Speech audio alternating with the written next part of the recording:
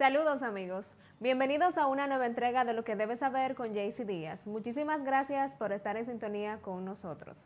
Recuerde que se puede suscribir a nuestros canales de YouTube como Luna TV en vivo y Luna TV Canal 53.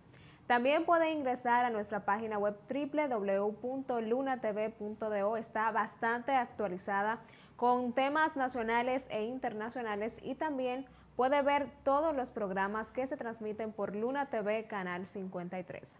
El día de hoy tenemos bastantes temas que tratar. Escucharemos las declaraciones de la Procuradora General de la República, Miriam Germán, quien fue reconocida en los premios europeos de los derechos humanos en la República Dominicana.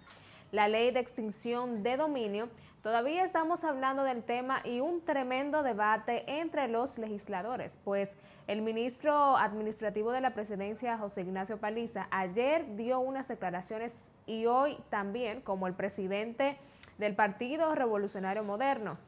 Dice que los legisladores ya están instruidos para votar a favor de esta ley, pues otros están respondiéndole a, esta, a este llamado que hizo José Ignacio Paliza a sus legisladores.